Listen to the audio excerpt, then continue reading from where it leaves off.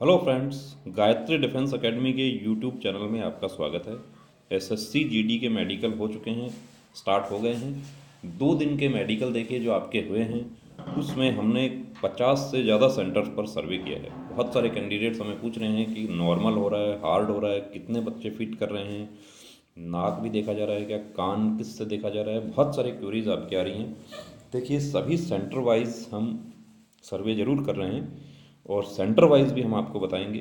लेकिन उससे पहले जो हमने सर्वे किया है कि जो फोर्स वाइज देखिए बहुत, जो हमारे जो छः फोर्सेज हैं पैरामिलिट्री फोर्सेज उन फोर्सेज की भर्ती है प्लस दो फोर्स दो ऑर्गेनाइजेशन है इसमें, जो कि एनआईए और एसएसएफ तो मेडिकल जो है आपका, सारा मेडिकल जो है, वो आपका कंप्लीट मेडिकल जो है, वो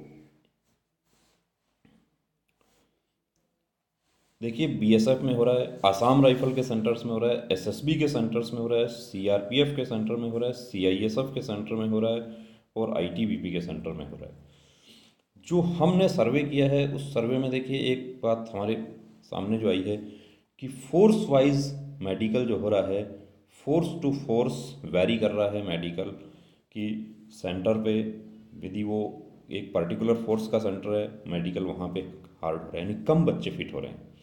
ये हमारे सामने जो बात आई है, इसमें देखिए, मैं आपको बता दूँ कि बीएसएफ के सेंटर पे जो है, बहुत ज़्यादा हार्ड मेडिकल हो रहा है।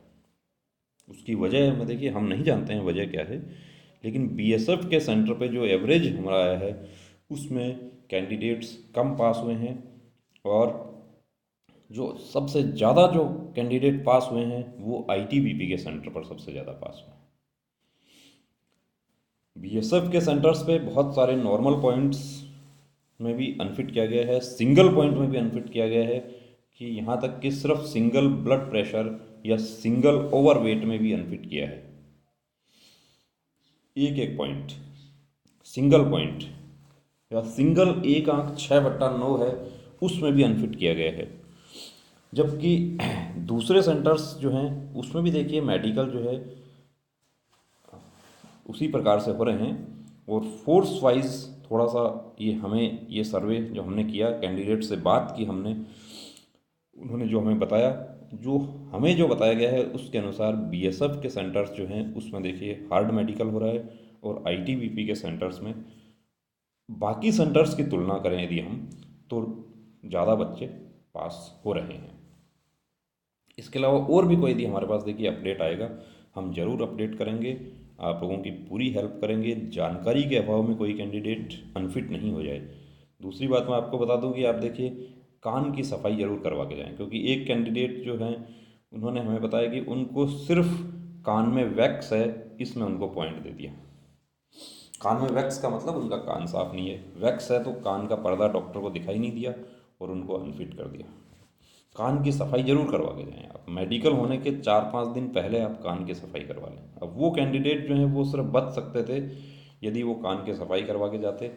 अब उनको अनावश्यक उनको चक्कर लगाने पड़ेंगे, सिविल हॉस्पिटल्स में घूमते रहेंगे, अपील करेंगे। अपील यदि स्वीकार होगी तो री मेडिकल होगा। री मेडिकल कब होगा? यदि अभी मेडिकल फिट हो जाता, सारी टेंशन ख़त्म हो जाती।